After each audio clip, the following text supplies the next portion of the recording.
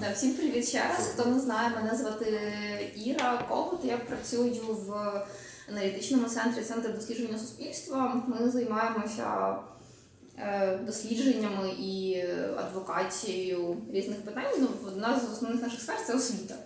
І е, по довгу служби ми пишемо дуже багато запитів на інформацію у різні органи, і в навчальні заклади, в університети, і в Міністерство освіти, і в інші. Тому я можу з досвіду розказати, е, як це робиться, е, як їх формулювати, яку інформацію з їх допомогою можна отримати, кому їх спрямовувати, що робити, якщо інформацію вам не надають або надають е, не в повному обсязі. Е, Перш за все, я закликаю всіх, кому це цікаво і хто стикнувся з необхідністю отримати якусь інформацію, почитати закон про доступ. Він маленький, дуже зрозуміло написаний. Е, Я потім кину лінки на все, що потрібно. Е, Якщо у вас якісь питання виникають, то в законі практично все, що потрібно знати, написано. От, е, якщо коротко, то публічна інформація е, характеризується двома основними рисами. Е, Перше, це інформація, що стосується е, отримання та розпорядження бюджетних коштів. Тобто всі дані про діяльність установ, які розпоряджаються або які існують на бюджетні кошти, пов'язані власне з витрачанням цих бюджетних коштів. Це публічна інформація. Е, За кількома винятками, які теж зазначені в законі, наприклад, якщо це державна таємниця, або якщо це службова інформація, або якщо це конфіденційна інформація, е, всі, вся, всі решта види даних вони відкриті. Якщо вам відповідають, що ну, ми от не хочемо вам давати, то ви можете оскаржити таку відповідь. Е, І по-друге, публічна інформація є вся інформація, яка пов'язана з діяльністю органів влади, усіх рівнів, центральних органів влади, місцевих органів влади. Тобто, оскільки вони ще логічно існують на також на бюджетні кошти, е, то вони є повністю підзвітними і повинні бути прозорими. Але що стосується органів влади, то під е, дію закону про доступ е, до публічної інформації потрапляють не тільки фінансові питання, а взагалі будь-що, що пов'язано з відправленням ними своїх обов'язків службових. Тобто їх можна питати взагалі про все. Е, Аж до декларації про доходи державних службовців, е, оскільки вони не підпадають під визначення конфіденційної інформації. Якщо вам раптом цікаво, скільки отримують вищі чини, які мають декларувати свої доходи, ви можете написати запит і вам зобов'язані на нього відповісти.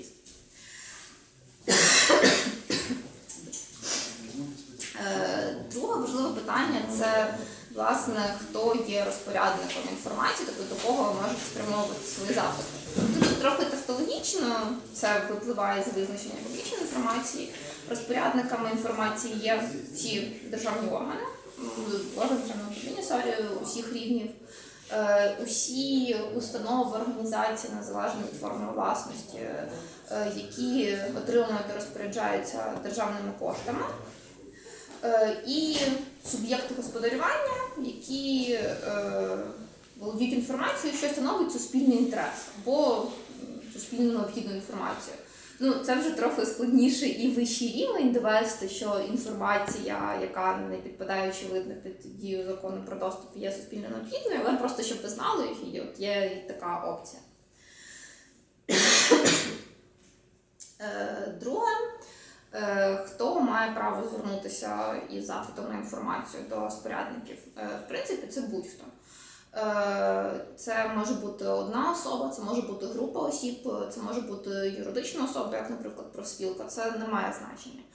Е, Форма запиту також може бути довільною, незважаючи на те, що багато розпорядників не хочуть давати інформацію, наприклад, відповідь на усний запит чи по телефону. Е, Це незаконно, тому що запит на інформацію може бути е, оформлений у письмовому вигляді та надісланий е, поштою на папері або електронною поштою, може бути у вигляді усного запиту face-to-face, може бути у вигляді телефонного запиту. І кожен з таких запитів повинен бути в належному порядку зареєстрований офіційно, і відповідно на нього має бути обов'язково відповідь. Якщо вам кажуть, що по телефону цю інформацію надамо, послати їх читати закон. Ну, але насправді е, зазвичай самому не дуже зручно отримувати інформацію в усному режимі, е, тому простіше зробити запит письмово. Щодо оформлення, то знов таки абсолютно нічого страшного тут немає, все максимально просто. Е, Основні речі, які повинні бути в письмовому запиті, це ваше прізвище ім'я, можна по батькові, тому що нам дуже часто, наприклад, дзвонили там сотень університетів, якихось відділів освіти для того, щоб спитати, як по батькові вашого там запитувача, щоб ми могли вам правильну відповідь написати. Тому, щоб уникати таких дзвінків, можете зразу зазначити по батькові. Е, Ваша адреса, на яку повинні прислати відповідь, електронна адреса, поштова, неважливо. Просто вказуйте, прошу надіслати відповідь на таку-то адресу. Надіслали цей запит. І якщо цей запит е, на папері, то ваш підпис. Все. Е, Тепер е, формулювання тексту. Формулювання є кілька нюансів, які в законі не написані, але про це треба подумати перед тим, як писати, і мати це на увазі. Дві основні речі. По-перше, до кого ви цей запит спрямовуєте. Згідно з законом, розпорядник вам зобов'язаний надати відповідь, якщо ця інформація е, є у його розпорядженні, або якщо, скажімо, е, ті чи інші дії входять у його чи її чи організації службові обов'язки, тобто, якщо вони мають вам сказати.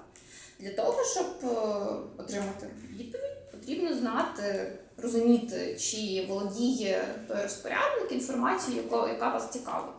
Для цього є сенс е, перейтися на їхньому сайті, спробувати розібратися в ієрархії, е, в обов'язках, хто за що відповідає.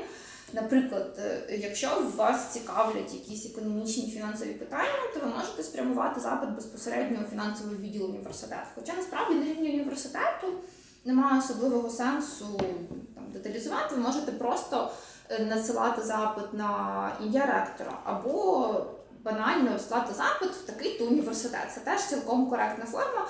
І потім вже відділ, який відповідає за роботу з публічною інформацією, розпише на той відділ чи на, на ту особу, яка може мати потрібну вам інформацію. У випадку, якщо ви, наприклад, надіслали запит в якийсь орган чи установу або якомусь службовцю, яка не має інформації або яка за неї не відповідає, але ця людина або ця організація знає, хто може володіти інформацією, вони зобов'язані ваш запит переслати. Тобто вони вам пишуть, що ми інформацію не володіємо, але ми переслали в такий-то орган. Тобто без відповіді ваш запит залишити не може, це порушення в будь-якому разі. Е, Вам повинні або надати інформацію, або обґрунтувати, чому цю інформацію не надають, або відмову у відповіді, або відповідь, що ваш запит було переслано. Цю відповідь вам мають надати протягом п'яти робочих днів. Але у випадку, якщо е, збір потрібної інформації займає багато часу, термін розгляду запиту можуть подовжити до 20 робочих днів, але про це вас так само повинні повідомити протягом 5 робочих днів. тобто, це якщо трохи логіку ламаю, але щоб не забути, якщо вам за 5 робочих днів, але не з того моменту, коли ви відправили запит, а з того моменту, коли розпорядник інформації його отримав. Тобто, вважайте, якщо ви шлете його поштою, це може там ще плюс 3-4, максимум 5 днів. Якщо ви не надійшли відповіді, ви можете звернутися знову, найкраще телефоном, щоб не повторити fail з поштою, з доставкою, і спитати, чи отримав розпорядник ваш запит, чи був він зареєстрований, і коли можна чекати на нього відповідь. В принципі, це діє, тому що завжди є спокуса проігнорувати запит, якщо на нього немає бажання відповідати з тої чи іншої причини. е, тоді є сенс його надіслати повторно. Якщо вам потрібна саме інформація, а не факт відповіді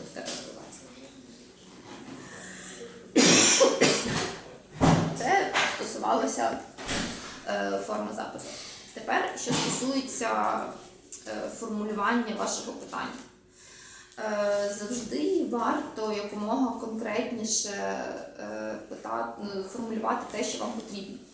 Якщо вам потрібен якийсь документ, інформація, що міститься в документі, запитуйте документ, або, наприклад, перелік документу, скажімо, якими нормативними актами, наказами, положеннями тощо визначається та чи інша там, сторона діяльності університету, не знаю, там вибори голови кафедри, там діяльність студентського самоврядування, що, ну, що вам може бути потрібно.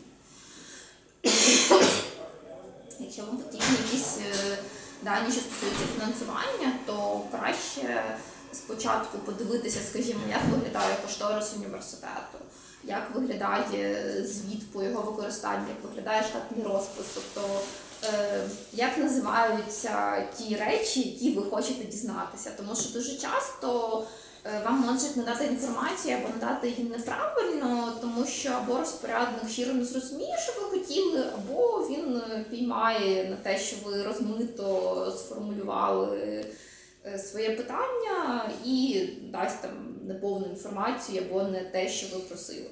Е, Скажімо, якщо ви будете питати обсяг видатків університету, вам можуть е, дати е, тільки поточні видатки, або поточні капітальні видатки, або видатки за бюджетною статтею на підготовку кадрів е, навчальними закладами 3-4 рівня акредитації. В університету ще є там підготовка кадрів е, навчальними закладами 1-2 рівня, і ще витрати на наукову діяльність, ще, ще, ще. Е, Тобто ці нюанси зрозуміло, що їх сходу буває складно з'ясувати, але тоді краще звернутися за консультацією до когось. Можна до нас, можна до, ну, до, до когось, хто розбирається в сфері, яка вас цікавить, і для того, щоб максимально коректно сформулювати запитання. Якщо ви зрозуміли з відповіді, що інформація, яку ви просили, не точна чи не повна, ну тому що ви не конкретно сформулювали свій запит, є сенс повторити запит, уточнити, що, що саме. Насправді надіслати повторний запит є сенс в будь-якому разі, якщо ви бачите, що е, на ваш запит надіслана повна відповідь. Тому що якщо вас цікавить кілька речей, кілька видів даних, кілька документів, відповіді на кілька питань, і ви їх всі помістили в один запит, то розпорядник е, люблять е, відповісти тільки на одне з поставлених питань, надати тільки один з документів, а решту ніби проігнорувати. Є насправді така практика, кожне з питань, кожен з видів інформації слати окремим запитом.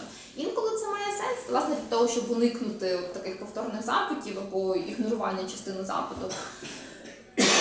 Але це, в принципі, залежить від того, наскільки доброчесно розпорядник виконує закон про доступ до публічної інформації. Якщо ви перший раз надсилаєте, то краще не ризикувати і от розділити е, запити. Якщо ви вже знаєте, що ця організація е, нормально відповідає, то можна не морочити собі голову і ускладнювати життя їм, тому що вони кожен запит повинні реєструвати, розписувати, виконувати і потім насилати вам. Ну це багато бюрократичної роботи, тому можна надіслати все в одному запиті. Його обсяг, власне, нічим не обмежений. Там може бути скільки завгодно питань. Вже е, ваша справа, як вам зручніше потім з цим працювати. Е, Ще е, нюанс е, щодо оплати. Загалом, згідно з законом про доступ, інформація у на запит та інформація, яка віднесена до публічної, надається безкоштовно. Але у разі, якщо підготовка відповіді, наприклад, друк чи ксерокопіювання документів е, обсягом більше 10 сторінок е, можуть завдати непоправних збитків розпоряднику інформації, він має право звернутися до вас з вимогою платити власне друк і ксерокопіювання документів. Е, Зазвичай це не дуже великі гроші, хіба що ви хочете від них там 5 тисяч. І е, ціна однієї сторінки теж е, нормована законом. Не виставляють вам рахунок, сплачуєте ті там 10 гривень чи 90 копійок, чи скільки там вас захочуть. І тоді інформація вам має бути надана. Ну просто щоб ви знали, що якщо вас попросять компенсувати витрати на друк, то це е, законна вимога.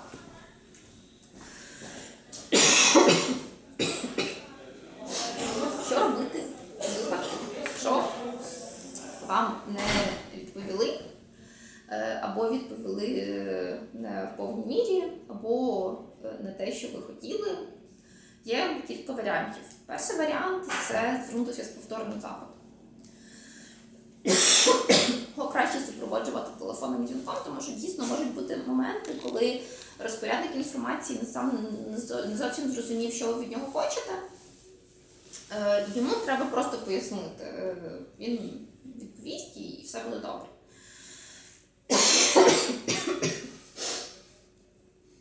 Е, Інколи розпорядники не хочуть надавати ту чи іншу інформацію, е, обґрунтовуючи це, скажімо, тим, що вона належить до службової інформації, чи до конфіденційної, чи ще якимись документами. Е, Тоді вам варто почитати закон про доступ е, до публічної інформації, закон про боротьбу з корупцією, е, закон про державну таємницю. Ну, власне, насправді закон про доступ цілком достатньо. Там вичерпний повний перелік інформації, яка не належить до інформації з відкритим доступом. Решта, яка підпадає під визначення публічної, вся відкрита.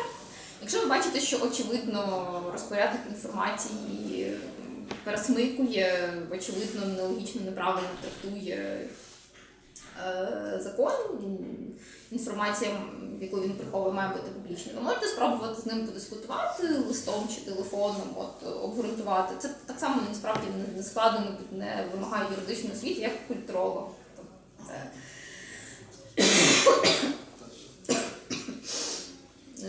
цілком доступне знання, ну або проконсультуватися зі знайомими юристами. От, наприклад, е, якщо розпорядник упорствує, і ви розумієте, що правда на вашій стороні, і ця інформація вам дуже потрібна, або ви хочете покарати цього нерадивого розпорядника, який приховує від вас важливі дані, ви маєте право звернутися до уповноваженої Верховної Ради з прав людини, яка е, відповідає за моніторинг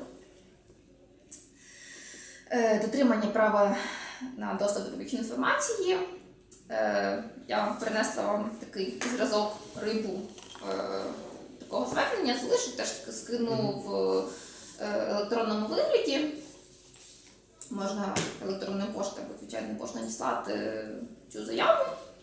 Е, Також превентивно є сенс е, у запитах, якщо знов таки є досвід відмов, або просто щоб полягати, написати в самому запиті, що у випадку неправомірної відмови ми оскаржимо це в установленому законному порядку. Якщо розпорядник не ляканий, то це може подіяти як додатковий стимул, щоб е, він чи вона вам відповів. Ну і власне останнє важливе, ну, якщо це важливо, якщо у вас взагалі немає чіткого уявлення, для чого потрібні ці запити на інформацію, що з цією допомогою можна отримати. Е, можна отримати з їх допомогою, по-перше, е, нормативні документи. Е, від університетів усі е, положення про діяльність е, органів управління, вчених рад, е, кафедр, тобто усіх усіх структур. Тому що якщо ви, наприклад, звертаєтеся з якоюсь скаргою, з якоюсь проблемою в деканат, вам кажуть, ні, це не можна, тому що та-та-та, завжди варто перевірити, тому що практика показує, що адміністрація любить прибрати. Ну або не повною мірою пояснити, як саме це питання регулюється. А відповідь на запит вони зобов'язані надати повний перелік е, документів, які регулюються питання. Ви можете самі їх почитати, подивитися, хто за що відповідає, до кого звертатися з скаргою, чи дійсно, скажімо, цей дурацький предмет, який вам доводиться читати, він е, обов'язково спущений згори міністерством, чи це якась вигадка університету. Ну тобто е, це важливо знати для того, щоб далі думати на кого тиснути, з ким боротися, чи до кого нести пропозиції. Друге це фінансові аспекти. Якщо ваш ректор їздить на майбаху і каже, що у нас нема грошей поміняти вікна в аудиторії, то можна попросити декларацію про його доходи. Е, Або можна попросити кошторис університету. Ну, на, жаль, ці штуки не особливо показові, і з них е, особливо з них небагато можна витягнути. Ну і це така дійсно фількіна грамота. Але для вправляння і взагалі для розуміння того, як фінансові потоки циркулюють в університеті, і чи дійсно не вистачає грошей, на що їх вистачає, на що вони витрачаються. Якщо, скажімо, вам потрібно поїхати на конференцію, а грошей нема. Е, А ви знаєте, що по закону на студентське самоврядування зобов'язані давати певний відсоток зі спеціального фонду університету, тобто гроші, які університет сам заробив. І ви думаєте, куди ці гроші ділися, на що їх витратили? Усе це ви можете спитати запитом і вам зобов'язані відповісти. Що завгодно. Обсяг стипендійного фонду, обсяг зарплатного фонду, всього університету, кожної кафедри. Ці речі ви можете дізнатися за допомогою запиту. Е, що, що, ну, крім університету, ви можете звернутися в міністерство. Воно приймає багато рішень, воно також е, має знання щодо нюансів, наприклад, нового освітнього законодавства, нового закону про вищу освіту. Якщо, скажімо, вам в університеті кажуть одне, ви розумієте, що це суперечить закону, ви можете звернутися запитом до міністерства, дадуть відповідь, можете цю відповідь тиснути в адміністрації, сказати, що от папірець, ви не праві. Також міністерство займається купою речей, наприклад, е, його структура відповідальна за акредитацію і ліцензування. Вони е, заключають контракт з ректорами. Ви можете, наприклад, е, попросити контракт, щоб подивитися його умов. Можна дізнатися, ну, в принципі, зараз інформація вже має бути і так доступна, але раніше, скажімо, інформація про обсяги держзамовлення, те, яким чином воно розподіляється. Загалом досить багато і ну, нормативних актів, і речей, які пов'язані з фінансуванням, і речей, які пов'язані безпосередньо з навчальним процесом, якісь е, навчальні плани, програми, обов'язкові чи не обов'язкові дисципліни. Е, Все це можна отримати в міністерстві. І важливо, що запит це не просто ну, відповідь на запит, це не просто інформація, якою можете користуватися. Це ще дійсно часто така собі, ну, такий собі аргумент, який можна використовувати у суперечках, у конфліктах всередині університету чи навіть публічно, тому що е, воно ніби підкріплене авторитетом того органу, який вам його видав. Е, Це не просто ваша вигадка, це от щось з печаткою і підписом. Тому навіть якщо щось є в відкритому доступі і щось ви і так знаєте, інколи варто це отримати у вигляді відповіді на запит е, для того, щоб е, підкріпити е, м, цією печаткою свою аргументацію. Ну, у мене все. Якщо у вас є якісь питання, будь ласка. Ну, я так розумію, що форма довільна, то ми просто маємо вказати ось конкретно, що саме ми вимагаємо, а там далі там текст самого повідомлення, ну він має, ну може бути там, типу, доброго дня, прошу там надати і все.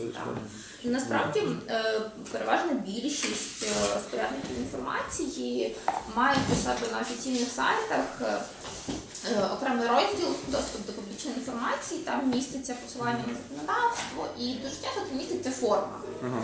Ну, Насправді ця форма це опять же зазвичай просто доківський файл, який ти маєш скачати і написати, тобто ну, нема сенсу з нею заморочуватись. Інколи це е, дійсно така форма на сайті, як еле- ну, е- електронна табличка, куди ти вносиш. Це трохи простіше, бо не треба морочитися з складеними файлами. До речі, е, добре, що ти сказав, я забула е, ще сказати, є такий е, сайт е, доступ до правди. Е, Він інколи буває зручним. Ну, власне, його функція в тому, щоб е, е, давати можливість людям не шукати адреси розпорядників, а про ну і там не думати, як має бути сформульований цей запит, а просто заповнити поля. Якщо, якщо ваш розпорядок, наприклад, Міністерство освіти, є в їхній базі, ви його там знаходите, впишете тему запиту, власне, що вам потрібно, а всі інші речі, типу дати, е, ці шапки згідно з статтею 1 закону про доступ до публічної інформації, прошу надати таке-то, таке-то. е, Все це вони додають і надсилають на адресу розпорядника. Але, звичайно, там немає, скажімо, університетів багатьох. Але у них є опція вносити відомих вам розпорядників. Якщо це великі університети, то можливо якісь з них вже є, і ви можете їх внести самі, потім користуватись. Просто це трохи спрощує е, роботу, і е, відповіді на запити вони видні всім користувачам. Тобто, якщо хтось вже це питав, воно там залишиться, ви можете це пошукати, знайти. Ну, звичайно, сайт існує не так давно, тому суперкорисної інформації там не так вже й багато, але в принципі ви можете там, до речі, що корисно, ви можете подивитися, як люди формулюють ці запити. Просто їх там кілька тисяч, е, як приклад. От. А ну, щодо твого питання, да, тобто форма довільна. Ну, можна за бажання вставляти е, посилання на закон, е, там, згідно з такими-то статтями закону. Е, ви можете, якщо розумієте, що е, ваш запит викличе питання, що там є якісь спірні моменти, одразу в тексті запиту обґрунтувати, чому саме Е, цей, ця установа, наприклад, університет приватний, чому він є розпорядником, наприклад, тому що він там частково отримує якісь державні кошти. Ну тобто, чому є розпорядником ця особа, і чому інформація, яку ви запитуєте, є публічною. Але це знов таки, якщо ну, у вас є прецеденти, що подібну інформацію вам вже відмовлялись давати, то ну, з першого разу можна цим не заморочуватися, особливо якщо ви питаєте якусь очевидно публічну інформацію. Да. Ну, але це все не вимагається законом. Вимагається тільки ім'я, адреса, підпис і дата. Дякую.